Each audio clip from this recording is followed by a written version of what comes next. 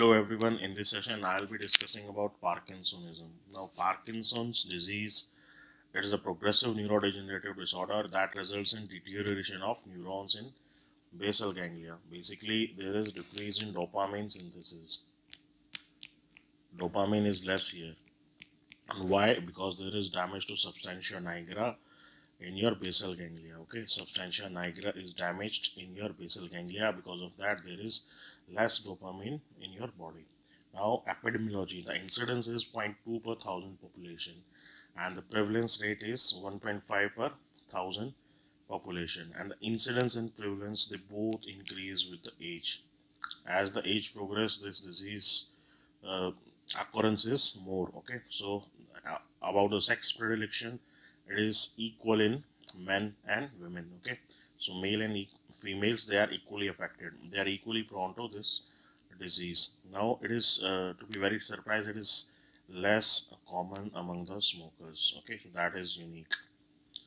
Now next is the age of onset. The average age of onset is 60 years. So we can say it's a disease of old age. Okay but in in 5 to 10 percent of people's uh, there is one special condition which is known as young onset parkinson's disease. Okay in 5 to 10 uh, percent of the people's uh, less than 40 years age group is also affected okay and we call that uh, we call this condition as young onset parkinson's disease now rarely you will find this disease at age less than 30 now next is the etiology of Parkinson's disease. Now um, mostly this Parkinson's disease is idiopathic. We don't know the cause. Okay, and when we know the causes, when we know that there are multiple etiologies uh, are present, then that particular condition we call a syndrome. Okay, Parkinson's syndrome, and uh, the genetic link uh, is not known to be associated with the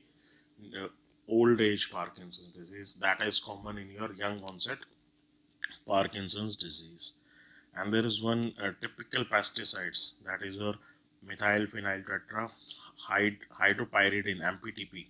Now it is uh, known to cause severe Parkinson's disease and uh, other conditions as well. For secondary Parkinson's disease, there are lots of conditions uh, like there is association of an infection in influenza in past.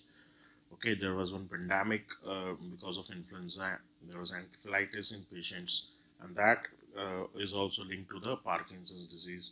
Repeated traumas okay that are also the important cause certain drugs uh, which are uh, decreasing your dopamine in your body like your antipsychotic drugs certain poisonings like your carbon monoxide poisoning you have wilson's disease as well so all these multiple etiologies uh, when present, then we call them as syndrome, Parkinson's syndrome. Now, what all are the risk factors? Now, the positive family history is a risk factor, but it is not that common. Okay, not that common. And when uh, it is present, uh, we say uh, it is it can be autosomal dominant as well as autosomal recessive.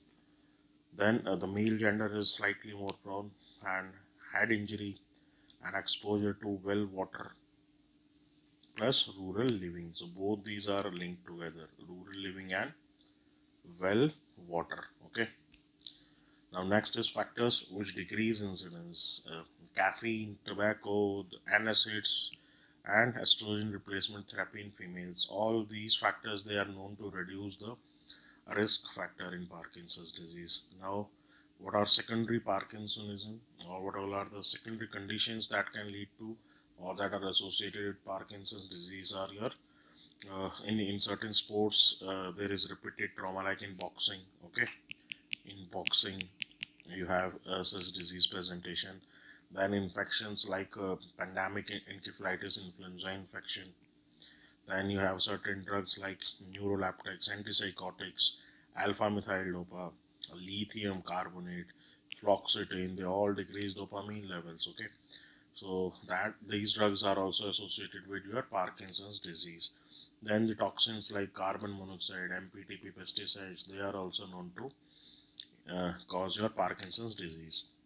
Now there is uh, unilateral presentation as well in certain patients. And those unilaterals they are mostly uh, associated with any neoplasm or any uh, trauma on that particular site or any vascular involvement. And this vascular involvement also present uh, in lower body. And we call it lower body parkinsonism as well okay? Then you have parkinsonism plus syndrome means syndromic association okay so these are your Shy-Drager syndrome steele richardson syndrome and parkinson's plus dementia. Then pathogenesis uh, no pathogenesis is such that you have one uh, area in basal ganglia that is known as substantia nigra okay? And that substantia nigra is a, is a pigmented area. It's very dark. Nigra itself means black okay? And you can appreciate in cut section of your brain that this here this on right corner uh, is your pigmented area and that pigmented area is known as substantia nigra. And when there is a depigmentation of this area there is a decrease in your dopamine production okay? And then we call it uh, Parkinson's disease okay? So there is depigmentation of substantia nigra. Plus there is a atrophy of this area as well okay? So the reduced dopaminergic output from the substantia nigra globus pallidum leads to the reduced inhibitory effect on subthalamic nucleus and the neurons of which become more active in inhibitory activation of cortex results in bradykinesia means slowness of the body movements. Okay so uh, this uh, disease um, is sporadic as well as hereditary and the sporadic form is more common.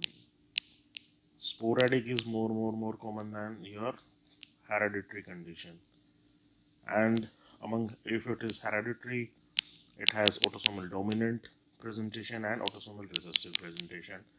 Now in dominant you have certain genes association like alpha synuclein alpha synuclein gene. Then you have a leucine rich repeat kinase 2 gene. Leucine rich repeat kinase okay? So you can say lrk2 gene then you have glucocerebrosidase gene mutation glucocerebrosidase okay so these uh, three genes mutation you see in autosomal dominant mode of inheritance. Then in autosomal recessive, you have DJ1 gene, DJ1 gene, pink gene, and Parkin gene. Okay. Now uh, the important is that there is mutation in your dominant condition and there is mitochondrial dysfunction. Mitochondrial dysfunction in your recessive inheritance disease. And because of these uh, mutations and mitochondrial dysfunction uh, what happens is there is misfolding of protein. Misfolding of proteins. And the most important is your alpha synuclein and because of that uh, there is uh, damage to the substantia nigra. That is how this disease runs okay? Now next uh, the clinical presentation of this uh, uh, is Parkinson's disease. Now for clinical presentation you can uh, remember it with the mnemonic TRAP. T stands for your tremors and then you have rigidity then A means akinesia or bradykinesia then postural instability okay? So these four are the typical presentation of patient. Now let's discuss all of them. Now when i talk about tremors now the tremors they are like pin rolling resting tremors okay? Pin rolling tremors so commonly uh, in hands and arms you see pin rolling motion in the fingers occurs most often at rest. So these are resting tremors okay that is important. And they may involve diaphragm tongue lip jaw okay. And these tremors they increase with the stress of the patient. Then uh, comes the rigidity. When i talk about rigidity uh, then you have uh, increased resistance to the passive movements means uh, there is involuntary increase in muscle tone that resists the passive motions and that results in cog wheel jerky and slow movements, cog wheel like rigidity, and then the movements are slow and jerky as well. Okay, and in lower limbs, a typical lead pipe uh, appearance you will notice. Okay, so next is akinesia. Now, akinesia means slow movement mostly. Okay, it's bradykinesia, or you can say hypokinesia and uh, what do you actually uh, what do you actually mean by bradykinesia means there is reduction in speed amplitude okay? And uh, that voluntary involvement slowing of activities. So both the amplitude and speed of movements are decreased. So there is loss of normal arm swing while walking decreased blinking of the eyelids loss of ability to swallow then blank expression then difficult in uh, initiating any movement okay? So difficulty in initiating any movement is also present. Then you have postural instability. Here the gait is typical shuffling gait or you can say festinating gait where you see there is rapid small steps okay? Rapid small steps but uh, the important uh, thing to notice here is that intelligence is not affected okay? And in your face because of less dopamine because of decreased dopamine uh, there is uh, no inhibition on sebum secretion. So sebum is secreted more and because of that waxy face or you can say mask like face appearance you will observe in patient so now you can uh, you can appreciate in this uh, picture that the, that is uh, we call as typical appearance of Parkinson's disease okay? So you, you you can see the stooped posture of the patient. Mask facial expression means uh, there is no facial expression. Then rigidity forward tilt of the trunk fixed elbows and wrist there is no movement okay? Arm swings is reduced then you have slightly flexed hips and knees and then trembling of extremities and shuffling or short step gait baby steps. And this typical uh, we call that typical uh, gait as Parkinson's. Uh, uh you can say it is typical of Parkinson's disease festinating gait okay? Or you can say shuffling gait. So that is uh, all about Parkinson's clinical appearance now uh, let's discuss again so the clinical features include expressionless face, greasy skin, soft and rapid indecent speech. Then you have glabellar tap sign, flaxed posture, and impaired postural reflexes. And about the gait, slow to start walking, short side, small baby steps, reduced arm swings, and impaired balance on turning. Okay so all these are the common findings of Parkinson's disease. Now the tremors are resting tremors okay? There are two uh, type of tremors uh, in your, in your cerebellum injury you will find that uh, intentional tremors are there but here uh, they are the resting tremors okay? And rigidity uh, you can say typical cog wheel rigidity means increase in muscle tone. Okay? And that results in slowness of the movement of upper limb. And in lower limb we call it a lead pipe like. Okay? Lead pipe. Now bradykinesia means slow movement. Okay? Speed is less. Uh, like a reduced arm swing. You're not able to initiate any movement. So oh, very very fine movements you will observe now among the frequently asked question uh, uh, there is typical body that has that are known as Lewy bodies okay so what are Lewy's bodies? See, suppose this is a cut section and this is your neuron. Now here, uh, this is the nucleus and here you will find that eosinophilic cytoplasmic in inclusion body with the halo around it. Okay, so that is known as your Lewy's bodies. So what are Lewy bodies? These are eosinophilic cytoplasmic inclusion bodies. Okay and that halo is because of that halo is because of synuclein protein. Alpha synuclein protein.